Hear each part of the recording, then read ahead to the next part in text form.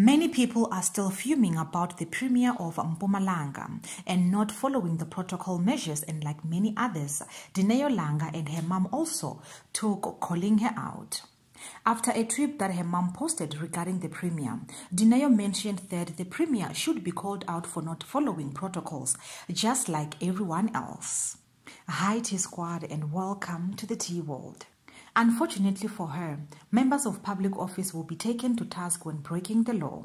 There is a level of irony and reality in that moment, one that says taxpayers can get arrested for not wearing a mask, but politicians won't.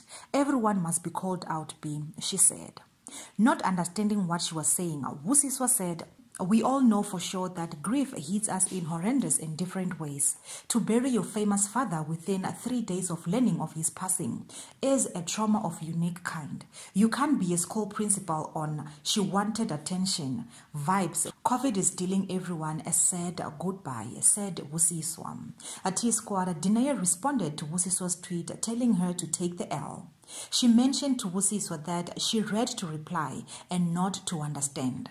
She said the tweet was not about Thuli, but about the premier who broke COVID 19 protocols.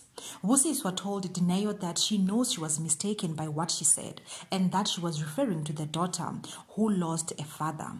Dineo's mother then explained that they were not talking about her and which resulted to Busiswa humbly apologizing for her mistake. At his squad, even though Busiswa seemed to get bashed, it's impressive how she humbled herself and admitted to her mistake and later apologized.